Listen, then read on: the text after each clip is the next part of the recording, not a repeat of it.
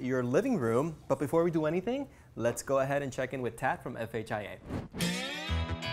Today we're in a home in Pompano Beach where this homeowner over the last several years attempted a lot of different things to try to make their home more energy efficient and hurricane proof. However, they weren't happy with the results. So we, they asked us to come out here and solve their problem and make some drastic changes. In meeting with the homeowners, a big concern in this space was the fact that they had a lot of water infiltration. They had the old jalousie style windows that didn't close properly and the mechanics were worn out and stripped so they weren't able to open and close and they really didn't function well at all. They had an existing bronze style frame with a really dark tint in the glass which made the appearance of the home look really dark. So they asked us to put in a white frame with a little lighter colored glass, also something that's going to be really reflective to the heat.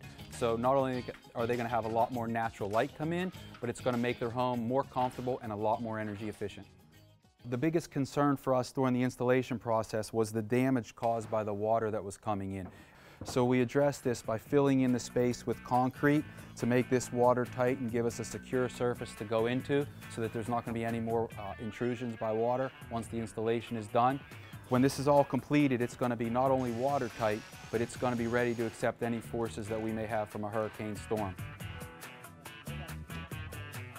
So now that the window has been installed, we addressed a lot of the concerns of the homeowner. A couple of the things that she was hoping that we could solve first and foremost was the water that was coming into the home because of the old jalousie windows that weren't closing properly. So we definitely addressed that and they're not going to have any problems with water intrusion. The other thing they wanted, they were concerned about was the heat that was coming into the space and how how dark the tinting was. They really wanted to have some natural light, but they wanted to have the heat not come in and possibly have that room be a lot more comfortable. They also wanted the functionality of having the windows to open, so we addressed that with a three-section window so that the two flankers on the side open and it still gives them the pretty picture window in the middle. We are all really happy with how this installation turned out, and this homeowner is going to be happy for a long time.